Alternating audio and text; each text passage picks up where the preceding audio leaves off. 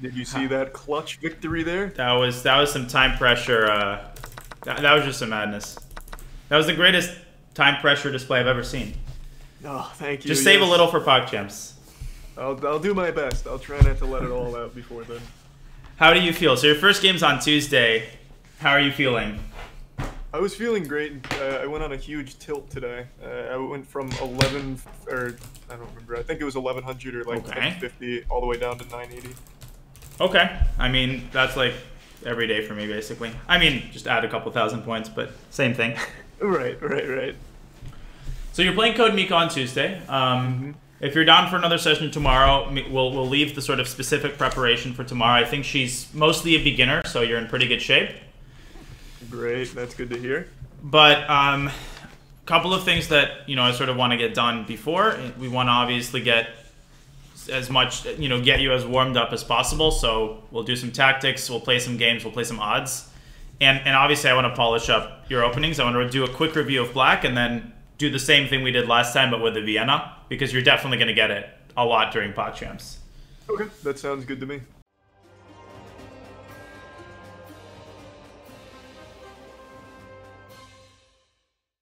Uh, maybe if you want to play like a five minute game or a ten minute game, I think that's something that you can just to approximate the pace. Um, that would be awesome. Whichever whichever one you prefer. All right, I'm hopping into a five-minute game. Fantastic. There's a Sicilian, nice. Yeah, I've been doing a lot of work playing fast. You're a new man. I mean, just the speed of wow, the pre-move. Jesus, Yeah. who are you? I know. I'm, I I can read this level like a book these days. It's incredible. Very good. Queen C7. This is this is flawless. This is textbook. Uh, yeah. It, but it, it's it's sometimes it has been known to fall apart.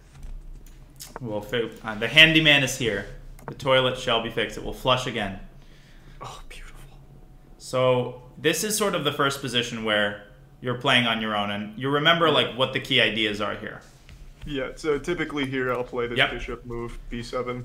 Exactly, and it looks bad, right? Because you're staring at the pawn, but you're actually preparing to control the center with d5. Yep. Perfect. Yeah. He's terrified of that bishop like I am of dentists.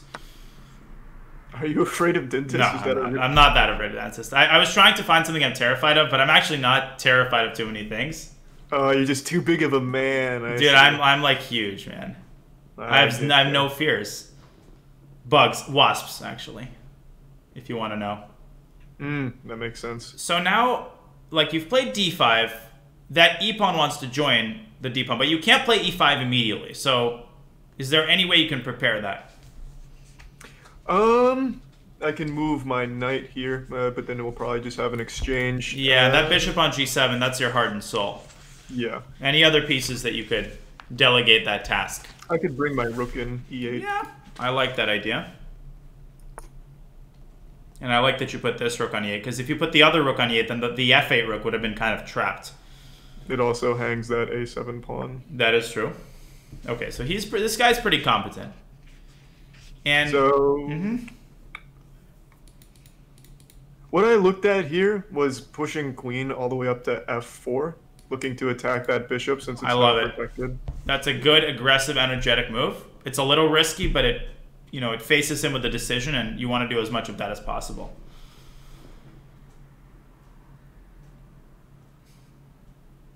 Yeah, he's probably he seems like the kind of guy he likes to stop all the threats. So this is how you want to play against people like him. He's he might go queen e3. He seems like a queen trade kind of guy or queen e e5. Yeah. Just if I'm getting the right read on okay, bishop e5. Now, where do you want to park that queen?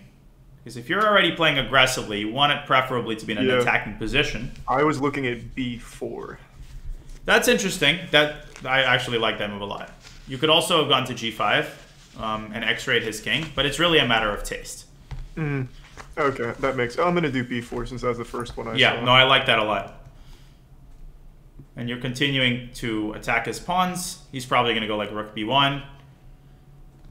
Although he actually doesn't have to defend the b pawn, which is interesting. You're not really attacking it, but there we go. Yeah. Okay, the next move I was looking at was pushing this pawn to d4. Excellent, opening up the, your, your bishop. Like I said, you're you're an accelerated dragon natural. I'm, I've been really feeling the accelerated dragon here. I like it a lot. It's I mean it's gonna it's gonna bring you some dubs in PogChamps, I think. Assuming people don't play d4. Okay, this guy is playing really well too. So Okay, so he's attacking your d pawn.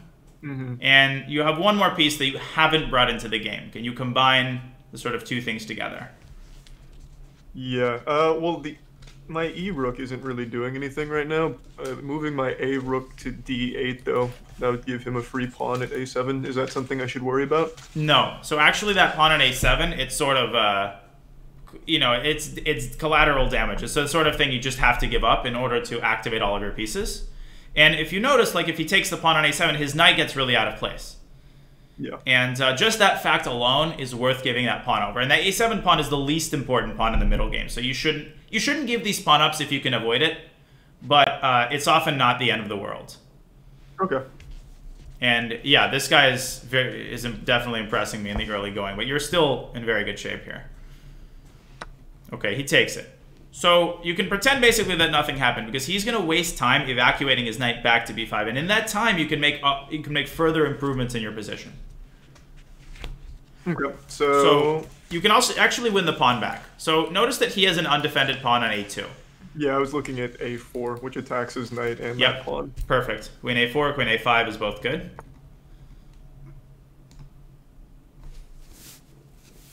Hopefully he pays attention to the a pawn and not to his knight. But someone of Gomer Pyle's caliber. Oh, a- I mean, you you know you know Gomer. I mean, that guy, he's full of tricks. you know, it's like the most interesting man in the world. He can defend both his knight and his a pawn at the same time. he is the most interesting man in the world. Bishop c4 would be a really good move for him. This position would attack your queen, activate his bishop. Okay, bishop takes d4. Now you have a, you can make a dangerous move here. You can threaten checkmate, and you can also evacuate your queen while you're at it. Yeah, it's bringing it all the way to d5. Yeah. Yeah. And you're not going to checkmate him. He's going to see that. He's going to probably play f3. But that induces a weakness on his king side. So that's a small victory for you. Okay. You didn't see it. Oh my god, the Naroditsky jinx, man. The You're- GMs do this. When I when I, as soon as I compliment somebody, they blunder some crazy shit. It's literally the next move after you pay them a compliment. It's actually impressive that you're able to do that every single time. I, I'm going to tell. I'm going to pay someone to make a compilation of this because it's it's getting it's getting pretty absurd. I, I, honestly, I think it would be worth it to like go through the vods and find every example of one of these moments. Because usually when I'm tilted or I'm frustrated, my way of expressing frustration is to say how good my opponent is, and that's the moment they blunder a rook or blunder into checkmate. That's a. I mean, he played really high level up until there. So let me just quickly. I have like two instructive moments to, to talk about, then you can jump in for one more warm up game. Okay. So I'll be quick.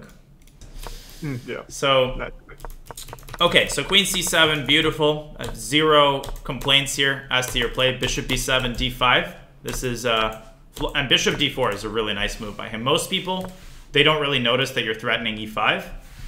Uh, so rook e8 prepares e5. Queen f4 is a very nice move. Now, just to expand on the move queen g5, the reason I like this move is because it x-rays the king. But that's not the only thing it does. If you look at this g2 pawn, what are you threatening here? If it's, let's make a random move for white, what would you do? I would have pushed my d pawn, which threatens mate, and if he blocks it, I win a knight. Exactly. Now, what if he blocks with a knight? Uh, How is the position? And when when Um, there's a lot of traffic like this, you want to really understand which pieces are now undefended. How has the position changed as a result of the last move? he's blocking his queen, so I just take the bishop. Bingo. The queen is blocking the bishop. Now I'm going to turn this around and I'm going to ask you a challenging question. Let's say you're playing white and you blundered this. Can white actually avoid losing a piece here? If I was a little bit more sadistic, the answer would be no, and I'd just make you sit there for 15 minutes. But the answer is yes. I have a funny story about that, but uh, first I want you to come up with a move. Okay.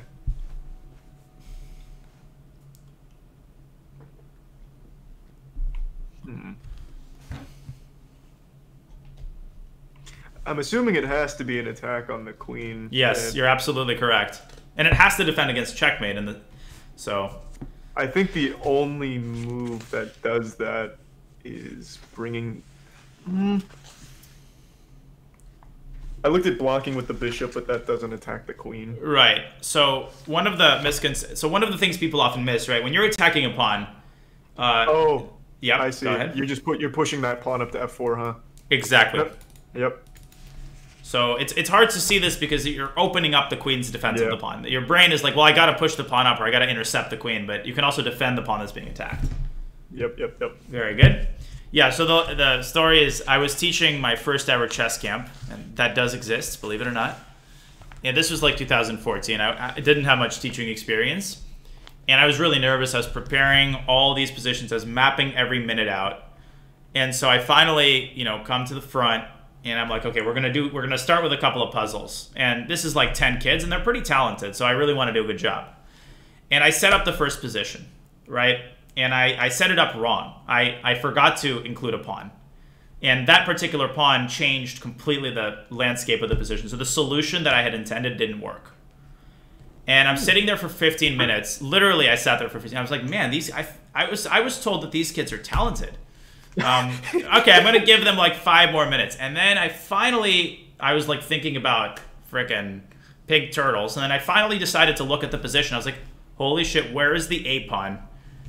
And uh, I managed to get out of that situation without them knowing that I set the position up wrong, because I wouldn't have made that out of the room in one piece. But uh, anyways, Jesus. no, I mean they were really good kids. They would have forgiven me, but my, my ego didn't allow it. No, of course not. And that's just extremely embarrassing. Oh yeah, wasting 15 minutes of time of, of kids at chess camp just unthinkable. So, anyways, that was one moment. The other moment was just I wanted to ask you this: Why is let's say he goes a3? That actually would have been a very high level move. Um, what would have happened if you take on b2? Uh, let's see. I take on b2 he's gonna have to move that knight, or well, no, he doesn't. It's protected by bishops. So right. He'd probably move the knight somewhere. Let's see. So he has three. He has basically four ways of trapping your queen here. Yeah. Well, it starts with the knight, though, right? Or does it start with the rook? Both. You can start with both pieces and both trap the queen. Now, if you start with a rook, which rook do you want to put on b1? The a rook, right? Oh no. So co- compare the two. Which like which one of them leaves something undefended and allows the queen yeah, to escape? That'd be the other rook because it hangs that pawn on a3. Exactly. So this is sort of the conventional way. But if you move the knight, you got to think about which escape squares you want to try to cover. Right? And the queen at the moment has only one escape square. So you just need to cover that escape square with the knight, either by intercepting it or by defend protecting with the knight.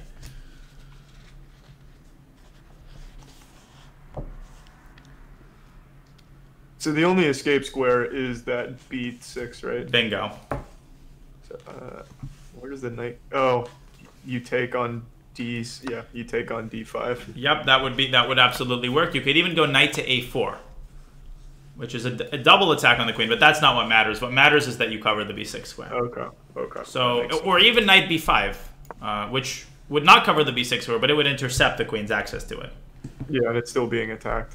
So your queen is the piece you always want to keep an eye on. And when you're about to take a pawn like this, it's not that you never want to take it, but you got to be extra careful about about not getting your queen trapped. And if you're in trouble, one way and one set of tricks involves, you know, quote unquote blundering a pawn like this, because you know your opponents will often just take a pawn like this impulsively, and you may have cooked up a way to trap the queen, and that could be one way to turn a game around.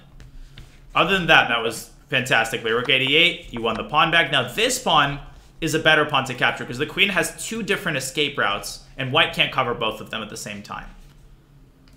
And uh, what would have been white's best move here? Last question. Really, white's only, almost white's only good way to defend against mate. Yeah, it's only pushing that pawn, right? F3? Yep, and that would have blunted your, your battery, but that would have weakened his king a little bit, so you have some compensation for the pawn. Mm-hmm. But bishop f6 was a move of unprecedented genius, and yeah. okay, maybe one more game, and then we'll launch okay. into some some drills. Sounds good. I'm hopping in. Perfect. I don't know if you want to put your 1,000 rating at jeopardy, but I, I've already lost it twice today. I, I think I'm more than fine losing it again. That's the attitude I like to hear. The Dutch. Here we go. Yeah. So I actually feel really confident playing the Dutch. Oh, it's a great my- opening. Yeah, I find that my highest, I think it's probably my highest win rate is just Mhm. playing the Dutch. It's as good as it gets, and it's and it's unduly, unjustly criticized actually at a high level. It's it's pretty hard even for GMs to get a good position against the Dutch. So h4, what he just played is a really good move, but he does he didn't follow it up correctly. He's looking to get a pawn break, right? Yeah, I mean, I'll show you afterward. This is like the best line against it. I'll show you what the the correct approach is, but you you need to really analyze this carefully to know it. Okay. Okay. So the, the position hasn't really changed what I want to do here. I still want to Nope. open up on e5. Yep, you want to prepare it. So I go d6 and then I'm pushing e e5. Well, okay, so he goes e4 himself, and now you have to react dynamically to what he's done. Yeah. Uh, I mean, he gave me this fork. Oh, no, he Okay. didn't. Yeah, but taking was still correct. I mean, you have to release the tension. And now you have to ask yourself, like, the obvious thing is, do you want to trade knights on e4? Do you have to? Do you gain anything from taking on e4? No. And if, if the answer is no, then you can just develop your pieces. That's what people often don't realize. Is like, let that traffic just be there on e4. Let him take your knight. So how would you develop yours in the most Uh, natural way? c6. Excellent. Wait, did I just compliment you? Shit. Yeah. Wait, let me get my. Okay, so again, the- your your opponents today are playing well.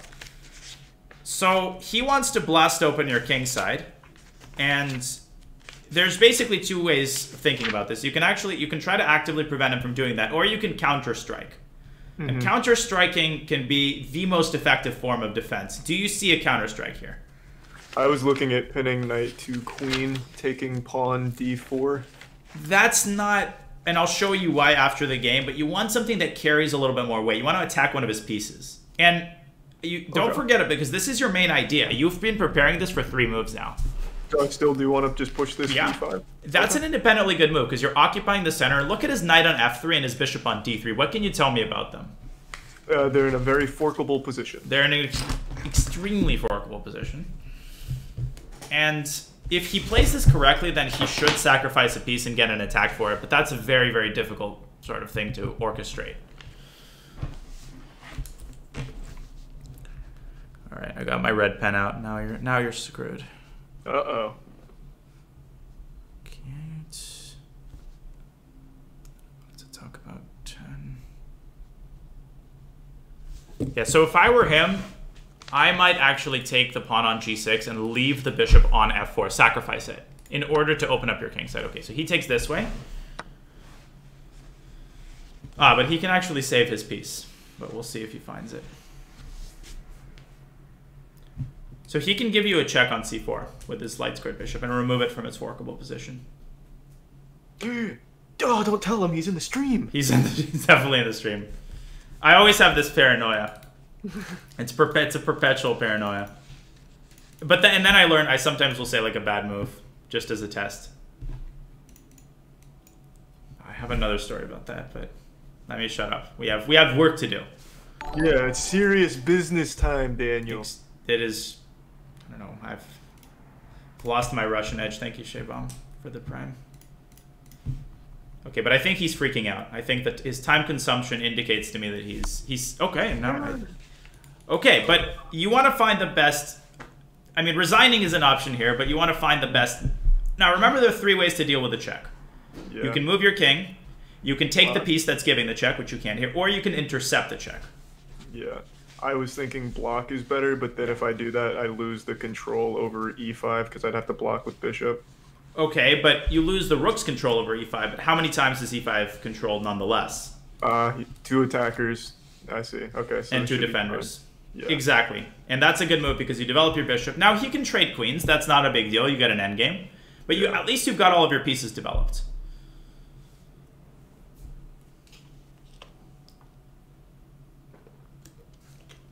All right. And you're also continually attacking his pieces, so you're you're forcing him to spend a lot of time working through the chaos here.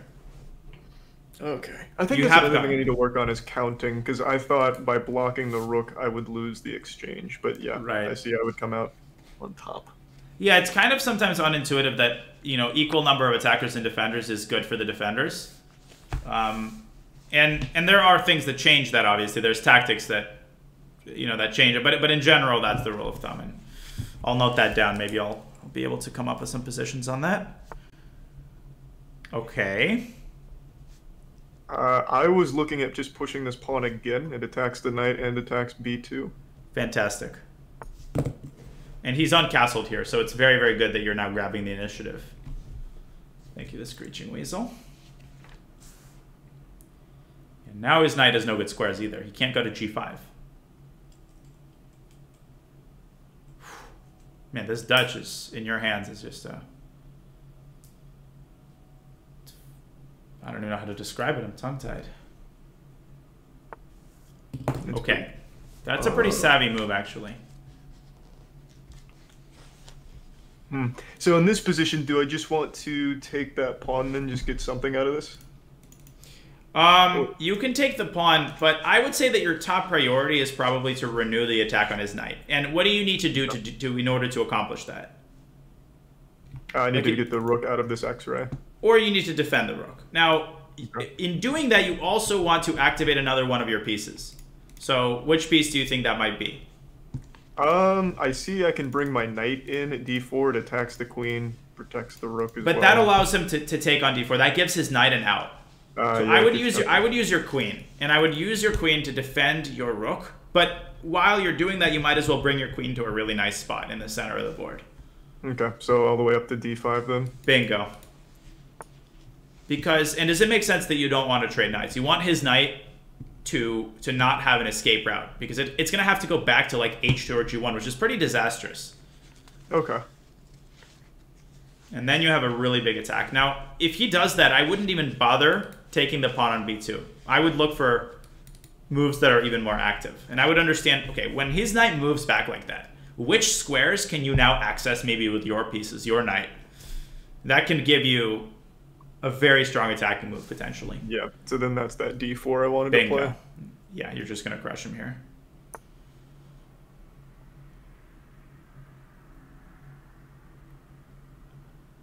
You also can actually win his knight, funnily enough, because he put it on he put it on h4. I didn't even notice that. When he moves his queen, depending on where he moves it, y- you can actually trap that knight. Okay, so he's given you a chance to do something even better. So I looked at this fork at c2. Yeah. I imagine this is the best that's gonna get. I believe so. Okay, cool. Well, this is better than roses on Valentine's Day. This is the best gift anyone can give me. Is just watching a fork in action. Uh, you know it'd be even better is if he moves his king to. Oh. I was gonna say if he moved it to like f1, then I'd also get the bishop. the bishop. well. Yeah. But then you would get your rook on e6. Okay, so this is an important moment, actually. You got to be very careful here. I call this the umbrella method. You see his pawn on g6. Yeah. If his pawn on g6 were not there, your king would be in check. It would be nasty. You want to make sure that you are letting his pawn on g6 act as the protection to your king. How can you ensure that that's the case? By pushing my own pawn. Now, would you push it to h6 or h5? Uh, it looks like h6 is the safest. Well, are you sure about that? Yeah, I mean, go you- go h6. Go Uh, h6. no, I see, because then the bishop takes, and I can't control that square right now anyway. Okay, so h5. Okay. The, the actual reason h5 is better isn't because bishop takes, but we'll talk about that after the game. Okay. That's that's a pretty instructional moment, I think. Oh, Oh, that's a genius move. Did you see that queen sacrifice? That was just sexy. That was he- just. He had 18 seconds. I, my fucking heart breaks for him, man. That shit happens to me all the oh, time. Oh god! Now another discovered check. Oh god. Oh, you're just mopping the floor here. It's not looking good for the boy wonder. I'm just gonna Nope. keep delivering checks until it's over. I think. Yep, you could have also taken his knight, but you've you've lined your pockets enough here. I think can go after. Oh, I That's just gave him my queen. It's all good. I, I, I've perfected that. I mean, with 0.1 seconds, you make the most absurd move. yeah. And you know what? What's even the dirtiest trick? And I had a student who did that, and I shut that shit down immediately. He would so his opponent would get to one second, and this is an all this has existed for 20 years now. Uh, when I was growing up and playing on the Internet Chess Club, which is like the old server, people were doing that. You offer your opponent a draw, and then you immediately checkmate him. Like before he has a chance to react to it, you immediately give checkmate, or you make a move and he loses on time. Pretty I fucked mean- up. That's like for a chess player. I know people are like, "What?" But for a chess player, that's like a huge insult. Like that is like next level trolling. Um, Did you give them a, a harsh spanking? Take them over your knee? And I that that stuff just doesn't fly with me. Like you you try that shit or you tell me you do that during a lesson, I'm shutting that down immediately. You're gonna play like a like a respectful Russian schoolboy if you're part of the Naroditsky army. Okay. So let me invite you to another board. You said I could have taken his knight. Yes, you could have trapped his knight. Okay, so then just. Alright, I think I see. So just take. It's check. He has to take. Then I take back. Yeah, and we'll we'll run through that line. So this move h4, right? He I, I was surprised he played it, and the best move for him here is actually h5. Very difficult to understand why this is a good move, because it seems to blunder a pawn. Now, which which way would you take this pawn if you were black here? You just take with the the knight, right? Because then it Definitely frees up the bishop to attack. Well, that's not the main reason, right? Because the bishop is still not such a great piece. It's biting on granite. But yes, you're mm-hmm. right.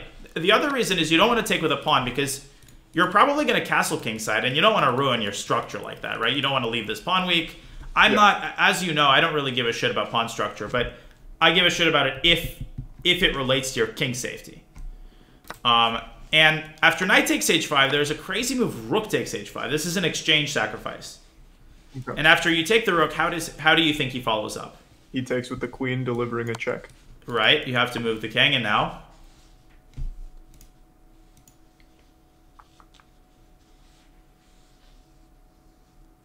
He takes the pawn, delivering another check. bingo. And it, it- white is not winning here. It's not mate, but white has a very strong long-term attack against black's king, and you're only up in exchange, right? You're not up like five rooks here. Right. So according to my analysis, and it's funny because I analyzed this recently with with uh, my highest rated student, and he was preparing against the Dutch. White is white is better here, but it, it's playable. I mean, it's, it's a very double edged position. In any case, he played knight f3 first, you castle. Now, one question I have for you is you start with rook e8, which is, to my knowledge, a little bit awkward. Is there any reason that you didn't start with? And let me check this right now, actually, because he played something that your opponents might actually play. Let me let me actually look at my notes to see if I analyze this. Yeah, so after castles, okay, the best move is is to start with d6.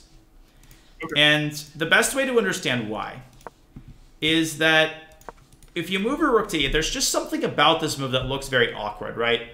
You're the only purpose of this move is to prepare e5. Whereas if you play a move like d6, you want to start with the most flexible move. This move not only prepares e5, it opens up your bishop, it controls a little bit of the center. Does that kind of make sense? Yeah, makes sense. So you want to start with d6, and then you want to play rook e8, and then knight, knight c6. Just a very small nitpicky note. Okay. Okay, so bishop d3. Now, if he would have given you a check, how would you have reacted here? Block with the pawn E e6. Excellent. Now, can you tell me why you wouldn't play this move? This is a dreadful mistake. Uh, I mean, it looks like shit. Like, yeah, you're completely It- locked in now because that bishop can just keep that locked. Yeah, it looks like hot sewage, but how do you actually how do you actually punish that? Um, You're not you're not gonna get off the hook just by telling me it looks like shit, like you're some grandmaster. You're gonna tell me why it's bad. I would guess that you try and bring that f3 knight into the attack here. It has a, a nice square at g5. Now you're speaking a language I love and understand. So actually, knight e5 is even stronger. Okay. And there's a kind of a mind blowing reason why. And this will lead me to a very important point that I want you to apply in PogChamps, and I think Uh. it's going to stand behind some of your success. Okay. So, what is the first thing you see in this position? It's the fork. If that's if uh, f7 isn't defended, it's a fork, and you win the queen. So you have to defend that with the the rook. Exactly. But giving this fork, let me make an analogy. Let's say you've just won the lottery and you live close to the lottery office. I don't know where you cash in a lottery. And you decide to bike to the lottery office to cash in your million dollar ticket. And on the way, you see a hundred dollar bill that lies on the ground. And you're like, holy shit. So you, you get so excited that you drop your lottery ticket, and it flies away into the ocean. and you pick up the hundred dollar bill, and you're like, I'm awesome. So knight f7 check is like favoring a hundred dollar bill over a lottery ticket. Now, when you Okay. have a situation like this, you always have to understand and put things into context. What are you actually winning with white by playing this move? Uh, so I mean, you're only winning the rook. You're giving two pieces for a rook here. Two pieces for a rook, be more accurate. So rook takes f7, bishop f7. What what is this called? You're trapped. You now just play that pawn. But what is white up right now? It's not a rook and it's not Oh, two pieces for a rook in in exchange. But black's gonna win a second piece very probably. And even if black didn't win a second piece, up in up in exchange is great, but it's not amazing. And here white can do something to be completely winning. And it's a very strong attacking move that I just showed you in this very game. White can play this move again with even greater effect. Oh, you just push that pawn up. And you do that to open up the h file. You, as you already pointed out, black king has no escape. And after knight takes h5, white has a very pretty mating sequence. Um, I want you to think about it, and it all occurs with checks. I'm, that's a hint that I'm going to give you. So from this point forward, it all occurs with checks, or All occurs you- with checks. Nope, from this point forward, and it's forced mate. And it's a little challenging, but I think you got this. So the first check that you deliver has to be g6 with the knight, right? Yep, and you do that in order to reposition this h pawn. Mm-hmm. And then you deliver a check with the queen here on h5. Okay, you're on the right track, but do you need to sacrifice the queen? Uh, I guess you do the rook first, then the queen. Yeah, so in general, even if queen takes worked, you're you're playing to win games, not to paint pictures. So Gotcha. it's it's important to give yourself an abundance of caution. So rook takes G- and queen takes would not have worked, and I'll show you why in just a second. Now what? Now you take with the queen, delivering another. I have the pit- pitiful defensive move, bishop h6. Uh, you just take with the queen. Yeah, this is a pathetic. I mean, look at black's pieces. It's like you haven't made any moves. Um, so the reason that queen h5 wouldn't have worked is because after bishop h6, white Uh, may actually still be winning. White is still winning, but after rook h6, black's king has a new lease Yeah, on life. escape square. Uh, So the lesson here, and I'll show you where you could have applied this in the game, is that when you see something like mediocre, like you can win an exchange, you want to take 10, 15 seconds and put things into context and ask yourself whether you can't go for more. And don't go crazy, like if you're not sure or you can do something risky, maybe it's worth just winning the exchange, but at least put it some thought. Okay, so bishop d3, does that make sense? Yeah. and I'll give you a chance to do that. So bishop f6, e5 is great. Now knight takes d4 would have been a bad idea because you haven't completed your development and your king is wide open, which means after knight d4, bishop d4, I notice two things. I notice your king, and I notice the fact that this bishop is undefended. And how can white combine the two things?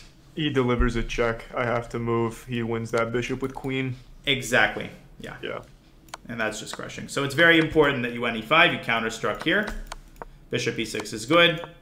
e4 is perfect. This is example number one. Your eyes are drawn, as are mine, to the pawn. But I tell myself, here I just win a pawn, and he can move his rook, and he gets another tempo. But I can do a lot more than a pawn, because his king is uncastled, his queen is susceptible to this move, and so queen d5 is much stronger. And after knight h4, how could you have trapped his knight, if you wanted to? Your move was the best, but nonetheless.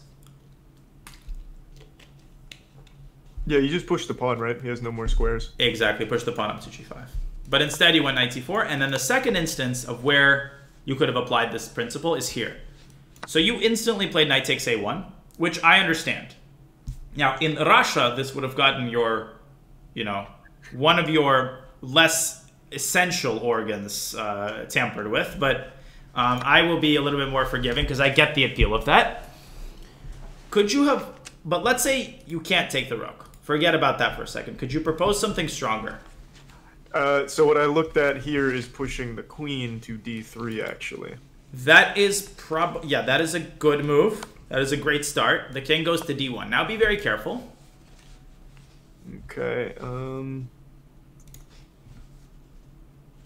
Yeah, I muted myself. He is he is sharp right now. He's seeing stuff like he's never seen before. I'm pretty optimistic.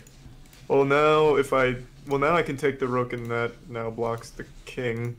Okay, Yeah, but look at the whole board. How has the position changed as a result of queen e3? Have you left anything Uh, undefended? Rook is unde- rook is undefended. so immediately you're like, okay, I need to move my rook and I need to do it with Yeah. tempo. How can I do it? Looks like the best square for the rook would be right behind the queen here at d6 and then taking the bishop. Exactly. So he has to bring his queen back, and then you have a great choice. You could now you can take the rook and you win the entire rook, and you force the queen trade. That's a much better version of what you did. Uh, so that would be one example. And the other thing you could do, what would I actually do in this position? Um, I you could actually start with the move rook d8, which might seem like weird to people. Like, why of all the things you could do, you do this move? Well, the point is that if his bishop moves away, black to play.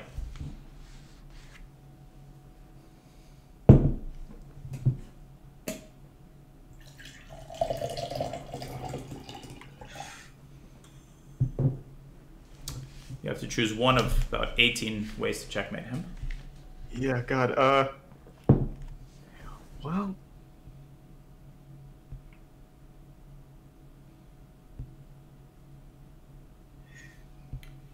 What are the king's escape squares? So right now the king only has f, or he only has um. Take the square Uh, away? one. That's it? I don't see how we do that. Oh, I just deliver the same check. I delivered Yeah. at d3. Exactly. Or you can deliver one at c4. That's Yeah. why I put the rook on d8, by the way, so that the king can't come out, come over here, and so that the king can come back to d1. Okay. Or you could even deliver it here. So with when you sense the mate, uh, be methodical. Where can the king escape? How can I take away the escape? And if you can't find a way to do it, don't panic and go nuts. Even taking the rook here is better because I see a lot of people they they can't see the mate and then they just do something absolutely wild. Um, you could also play e3, just throw a pawn at him and weaken him even further. And if he defends with a rook on d1, what can you do here?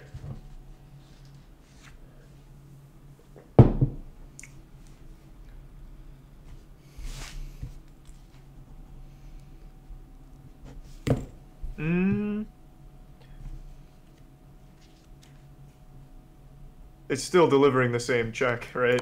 It's still mate. Nothing Yeah. changed. And again, the point of rook d8 is to force him to cover up the d1 square where he previously could have escaped. Okay. So, Okay, so- that, all right, that makes sense. Yeah. So The rook d8, blocks that, yeah, that was the move that I would have actually played. Rook d1, rook d8. He can avoid mate for a little longer, but uh, but but not for very long.